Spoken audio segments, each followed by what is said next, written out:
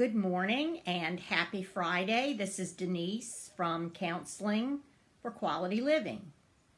And today's talking point is going to be about our quality world and quality world pictures. Several of my clients asked me to um, talk a little bit about that in a video form that they could um, watch a few times and take some notes. So here we go. From birth to death, we create and build in our heads pictures of our quality world. We build this and then we spend the rest of our lives actually trying to bring our quality world pictures into fulfillment. Because the extent to which our quality world pictures are met, not in our heads but in the real world, is the extent to which we will find contentment and happiness in our lives. So, what are our quality world pictures? Our quality world pictures consist of people, places, things, and beliefs, core beliefs. People that we wish to be in relationship with. In most everyone's quality world, there are family members, friends, perhaps historical figures that you um, value, that you look up to and take lessons from. Places. For many of us, it would be our home. For others, the beach. For others, the mountains. For others, perhaps a particular country. Maybe a country that our ancestors are from or a place that we traveled to that we truly loved. We have things in our quality world. We put things in our quality world. For some, it's a car. For some, it's a house. For some, it's a pet. For some, it is a particular piece of jewelry. Um, for some, it could be your job, your career, your volunteer work. And then we put, as we evolve and grow through our lives, we put belief systems and core beliefs and values in our quality world. Some of us put a particular organized religion in our quality world. Some put political beliefs that we may have in our quality world. Um, some people have particular traits like honesty or faithfulness or compassion, empathy in our quality world. But when we put something in our quality world, it means that without even thinking about it, we measure what we are getting or seeing in the real world to what we have in our quality world, which is up here. And remember, we think in pictures, but we talk with words. So these pictures are always there. And we use our quality world pictures as a measuring stick. We evaluate what we're getting in the real world to what's in our quality world. And depending on how close the real world comes to meeting our quality world pictures, that determines how balanced our scales are. And when our scales are pretty much in balance, when the real world matches pretty well to what's in our quality world, our scales are balanced and we're feeling good. We're content. But when what we are experiencing or seeing or hearing in the real world is out of sync with what's in our quality world, our scales tilt. And that causes frustration. And so, what we do is we behave, we do something to try to bring those scales back into a better balance so that we can feel better. So, here is a very concrete example. In my quality world, I have a Pittsburgh medium rare steak. I love it. And so, let's pretend that you and I are going out to dinner. And you order your meal, and I order mine, and mine consists of a steak that I've asked to be prepared medium rare. So the meals come, and the server puts my steak in front of me. I am immediately, without even thinking about it, consciously, I am comparing that steak that I have in my quality world to the one that's in the real world on my plate. I'm going to look at it. I'm going to smell it. I'm going to poke it a little bit. Then I'm going to cut it. Look at the inside. The whole time I'm evaluating.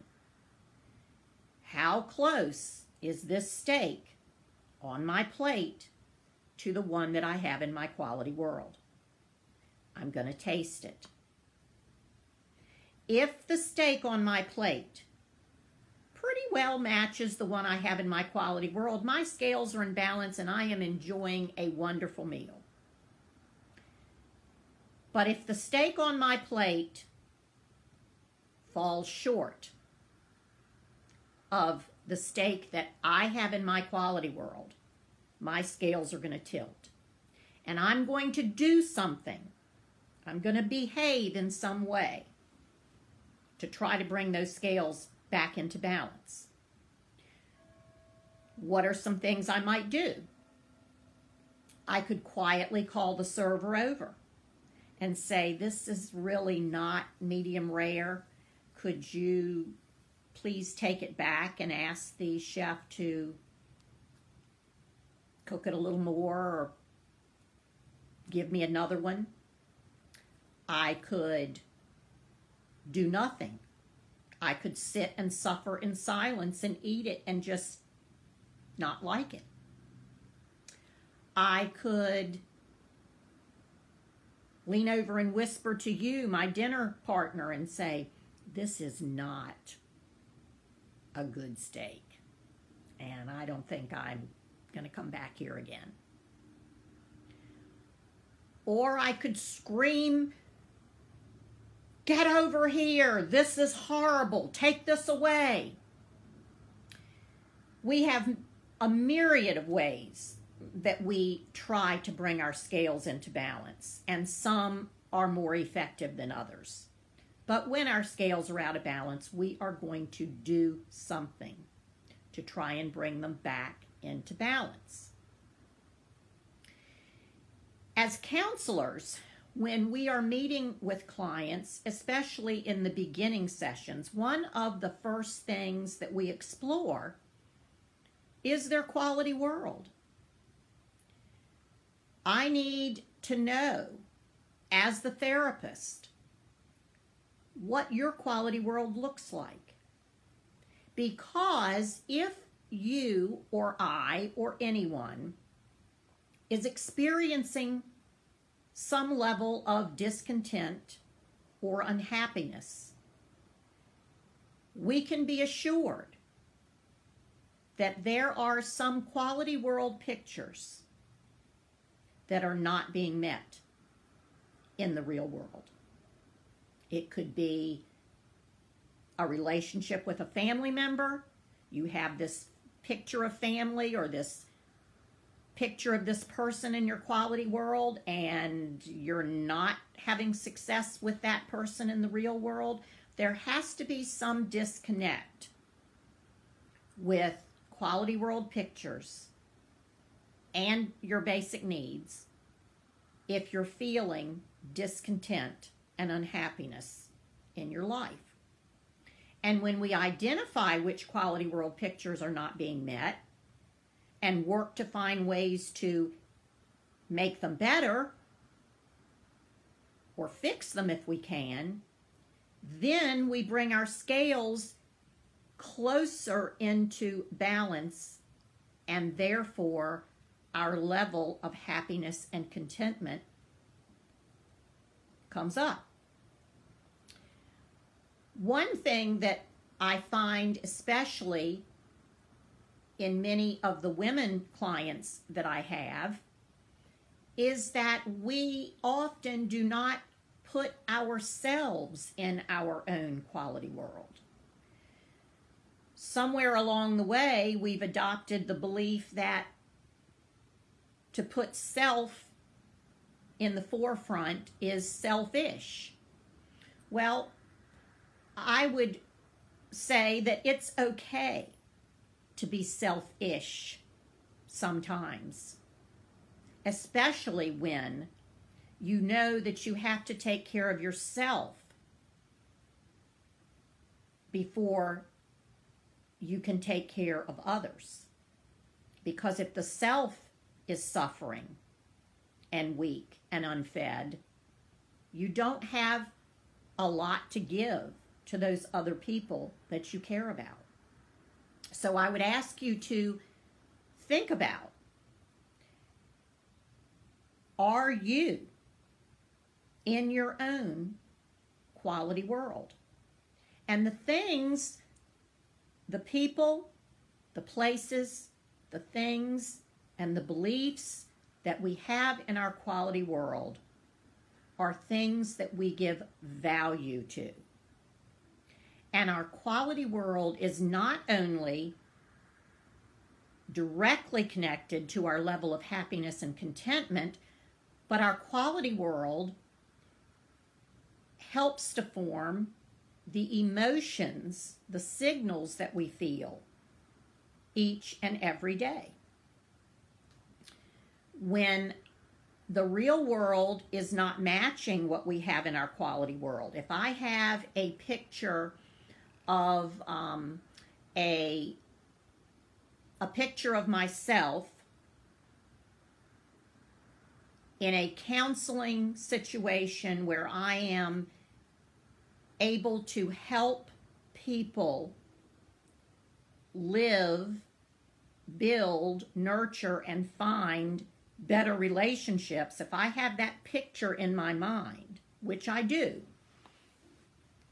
but what I see in the real world is I'm not making a difference. I'm not being helpful to others. My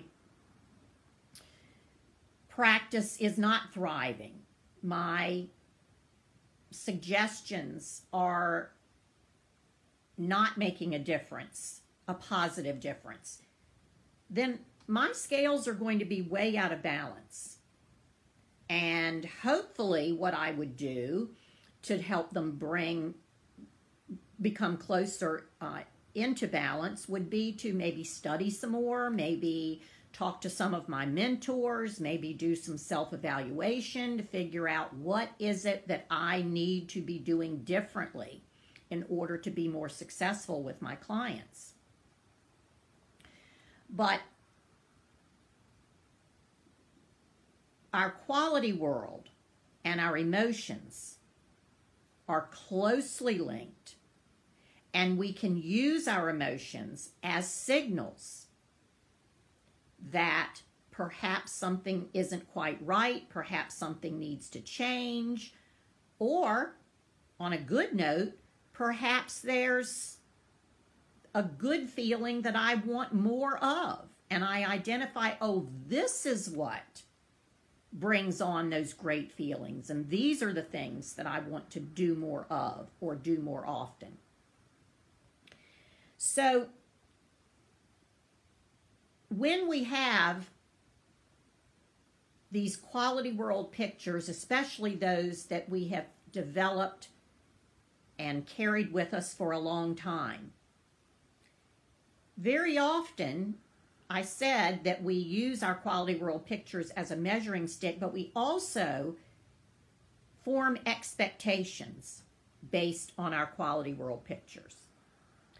And very often, when we have expectations, they become our next resentment. If I have a picture of how my son or my daughter should treat me in my quality world, and the way that they're treating me in the real world does not match that, course my scales are out of balance. But sometimes it is the expectation that we have in our head that we need to let go of. And I hate to use the term lower your expectations. But in reality, sometimes that's what we need to do. Because very often our expectations are bringing us or causing us misery. When we expect something that we don't get, it doesn't feel good. So perhaps we could look at some of our expectations, which are based on the quality world pictures we have in our mind, and evaluate Am I expecting too much? Am I expecting something from this person or this job or this meal or this place that I'm not going to get? Yet I continue in my habit mind to keep expecting and therefore keep getting disappointed. I guess it's the ultimate reality check. You know, we very often write a script in our heads for people's lives. And then we get very disappointed and upset when they don't follow the script. But remember, one of the basic premises of choice theory is that we can only control our own behavior and not the behavior of others, nor do we always know what is best for other people. But we still tend to write that script. We write it for our husbands, for our children, for our bosses, for our coworkers. And when people don't follow the script that we have in our head, we get very disappointed. So we need to be careful of our expectations. Another thing, a lot of times we keep our expectations in our heads. We never verbalize them. And then we're upset when our expectations aren't met by others or by situations. So that's another thing we might want to reflect on is do I have expectations that I don't share? And therefore, that would make it very difficult for people to meet our expectations if they don't even know what those expectations are. especially people that we want to be in good relationship with. So, in a nutshell, we have in our mind pictures, we think in pictures of people, places, things, and beliefs that we have collected and stored, that we value, and that we use as a measuring stick to what we are getting in the real world. And the extent to which our quality world pictures and the real world are balanced is the extent to which we will find happiness and contentment about any given thing on any given day. Some of the questions we can ask ourselves. First of all, do you know what's in your quality world? And if you do, do you know what's missing, what isn't being met in the real world that is causing your scales to be out of balance? And if so, what can you do? What effective thing can you do? Or things to bring the scales back into balance? You might want to ask yourself Am I in my own quality world? Do I make time for myself? Am I patient with myself? Am I loving with myself? Do I take care of myself? Do I listen to myself, to my feelings, and to my thoughts? We might want to think about our expectations. Are my expectations causing me a great deal of resentments and misery? Am I expecting things of people, places, or things that are unrealistic? And if I have expectations, have I verbalized them? Or am I keeping them in my head and assuming that people can read my mind?